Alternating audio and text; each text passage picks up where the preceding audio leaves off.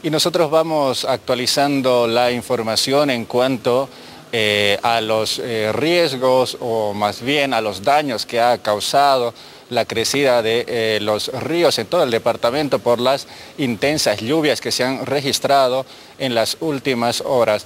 Por eso estamos con él, el director de la Asociación de eh, Municipios, quienes han hecho, podríamos decir, una primera evaluación, si vale el término, de lo que está sucediendo, pero hay arduo trabajo que están realizando los técnicos y vamos a conversar con Bartolomé López. Eh, muy buenas tardes, bienvenido a Plus TLT. Bueno, muchas gracias. Saludarle a Rodrigo, a Liliana. Es así, estamos eh, preocupados por la situación en la que nos encontramos en el departamento de Tarija. Lamentablemente los efectos del clima, las riadas, ha sido la constante del día de ayer, particularmente anoche. Esta mañana eh, tuvimos reunión con los alcaldes, los cuales han reportado que eh, todos los municipios han sido afectados por donde transversalizan los ríos. Por ejemplo, son altas, río San Juan del Oro, Izcayachi, eh, Tomayapo, Paicho, toda esa zona ha sido afectada. Se está cuantificando eh, las pérdidas que se ha tenido, principalmente en lo que es la producción agrícola, infraestructura y lo propio en el Valle Central, ¿no? lo que es el río Guadalquivir, el río Camacho, que ha afectado a las provincias Avilés, Arce y la zona del Chaco, la zona de Entre Ríos, Bermejo, que también eh, tienen la misma característica. ¿no? Eh, nos han informado que eh, la mayor afectación que hubiese, se hubiese tenido con pérdidas de viviendas, afectaciones a personas es en la ribera del río Pilcomayo, donde están asentadas las familias del pueblo Buenayec, donde se ha transportado el viceministro, en primera instancia tenía que llegar a nuestra ciudad, pero por la priorización ha hecho que llegue a Villamontes para atender eh, la situación crítica, la cual están eh, atravesando muchas familias. ¿no? Eh, sin embargo, las otras zonas podemos avisorar que hay pérdidas, pero más es en cuanto a producción e infraestructura productiva.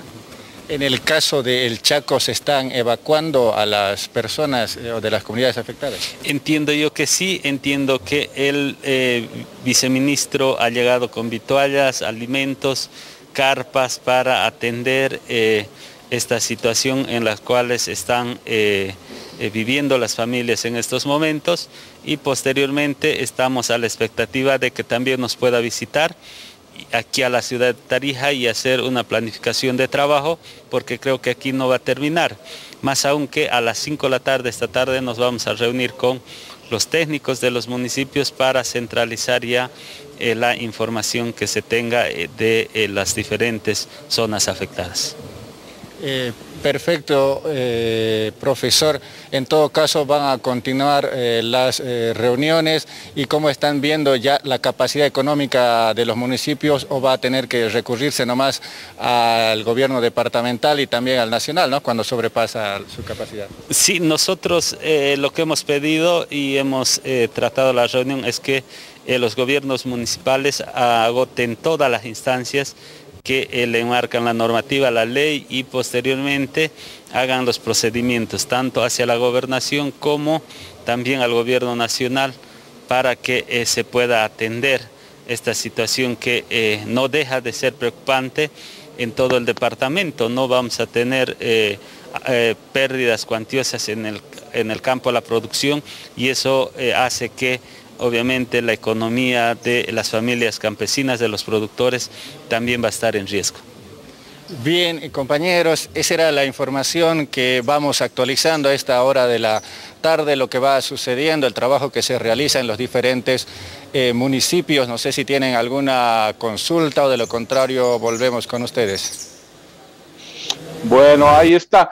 Preguntarle, por favor, eh, si es que todavía está ahí Bartolomé López, preguntarle si es que eh, ha eh, tenido novedades sobre víctimas fallecidos a causa de las riadas. En Bermejo, por ejemplo, ya se han reportado cinco fallecidos por el vuelco de un gomón. preguntarle si alguna versión tiene de los restantes municipios. Claro que sí. Nos consultan desde estudios si es que si tiene algún reporte de eh, personas fallecidas o desaparecidas.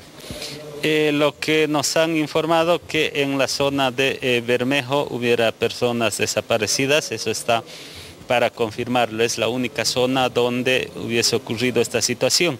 De las demás zonas no tenemos aún reportes. Ahí está eh, entonces solamente en el Bermejo, como tú lo mencionabas, ese reporte. De las demás zonas todavía no hay algo al respecto. Esperemos que no haya más víctimas.